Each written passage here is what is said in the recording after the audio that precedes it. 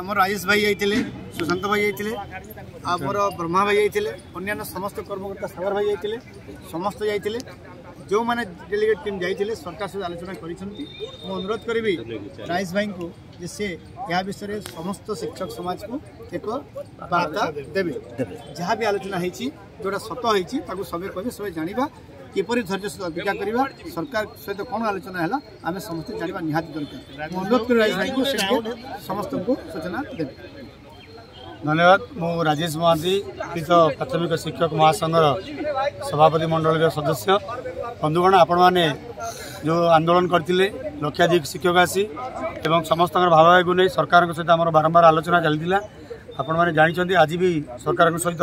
high power committee ସହିତ ଆମର ଆଲୋଚନା ହୋଇଥିଲା ସେହି ଆଲୋଚନାରେ ଆମର ବିଭିନ୍ନ କମିଟିର ସଦସ୍ୟମାନେ ବି ଉପସ୍ଥିତ ଥିଲେ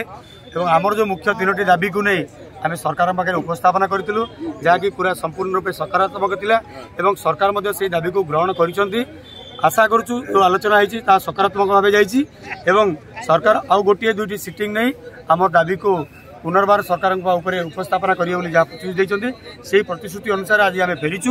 ଯାହା ସରକାରଙ୍କ ଉପରେ ଆମର ଆଶା ଓ ଭରସା ରହିଛି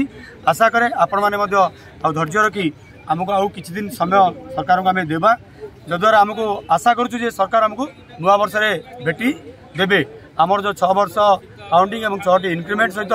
ଆମର ଯେଉଁ ଗ୍ରେଡ୍ ପେ ବୟାଳିଶ ଆମେ ଦାବି ରଖିଥିଲୁ ଏବଂ ତାକୁ ବିଭିନ୍ନ ବିଭାଗର ଦାବି ଉପସ୍ଥାପନ କରିଛୁ ସବୁ ଡକୁମେଣ୍ଟାରୀ ଏଭିଡେନ୍ସ ସହିତ ଯାହାକୁ ସେମାନେ ସ୍ୱୀକାର ବି କରିଛନ୍ତି ଯେ ପ୍ରାଥମିକ ଶିକ୍ଷକମାନଙ୍କ ଦାବି ଯୁକ୍ତିଯୁକ୍ତ